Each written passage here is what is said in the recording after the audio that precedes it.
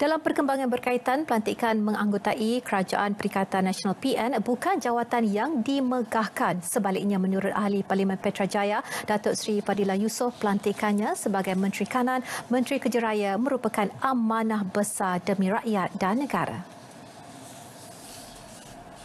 Datuk Seri Fadila Yusof menerusi satu kenyataan memberitahu pelantikan tiga menteri dan lima timbalan menteri yang diperuntuk kepada gabungan Parti Sarawak GPS adalah pengiktirafan buat rakyat Sarawak di bawah pimpinan Perdana Menteri Tan Sri Muhyiddin Yassin di peringkat Persekutuan dan Ketua Menteri Sarawak Datuk Patinggi Abang Johari Tun Oping di peringkat negeri.